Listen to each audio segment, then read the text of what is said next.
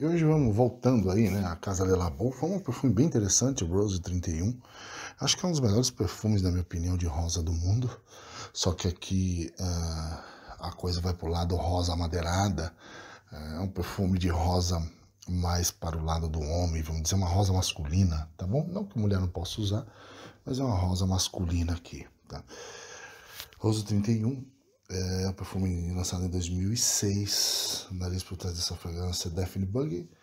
As notas são rosa, cominho, é, rosa, vetiver, cedro. São as de coração. Na base tem almisca, madeira guaiaca, madeira de ude, incenso, olíbano e ládano, tá?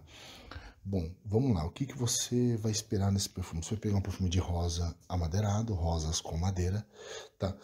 Uh, aqui não se trata de uma rosa, um, aquela coisa da rosa muito apaixonante, aquela rosa mais vermelha, mas sim, na minha opinião, uma rosa, embora seja naturalíssima, uh, eu pego aqui uma rosa mais, mais lemate. Eu não sei se você conhece, existe um perfume da perfumaria de nicho chamado Lemate, né? Uma marca de perfume e parece uma rosa dentro de um livro, uma rosa dentro de uma biblioteca. Eu achei esse perfume parecido com bastante com o Lemate. Uma rosa pulverulenta, uma rosa dentro de uma biblioteca, é o que eu pego aqui nessa fragrância. Explosão inicial rosa cominho, não se preocupe com o cominho, não é muito carregado no cominho aqui, tá?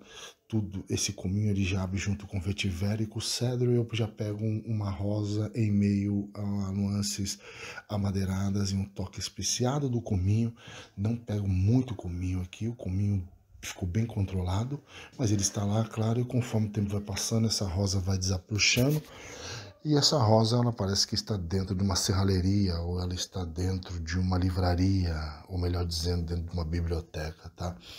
As nuances dessa rosa, é uma rosa cor-de-rosa, uma rosa mais fresca, ao mesmo tempo pulverulenta, cheia de pó, tá? Na minha opinião, é uma rosa mais dramática, não uma rosa mais apaixonada, apaixonada, enfim, uma rosa mais dramática, uma rosa mais artística, na minha opinião.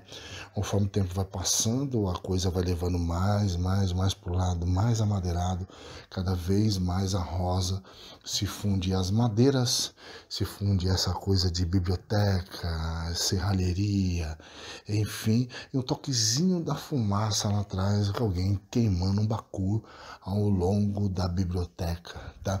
No modo geral, é um perfume amadeirado de rosas com nuances especiadas, tá? É pulverulento e com nuances terrosas, Tá? O incenso no final abraça o olíbano e fica tudo um pouco mais ambarado, mais adocicado. No modo geral, é uma fragrância incrível, um dos melhores perfumes de rosa. Esse perfume você pode usar na sua própria meditação, você pode usar num evento, você pode usar no encontro, que é um perfume, embora não seja uma rosa tão apaixonada, mas é um perfume que tem rosa e madeiras, então ele vai te levar a alguma coisa, a um momento especial. É isso que eu estou dizendo para você. E esse perfume eu acho interessante. Tá? A minha nota para esse perfume é 11 de 10, uma fragrância excelente, Rose 31, um dos melhores perfumes de rosas do mundo.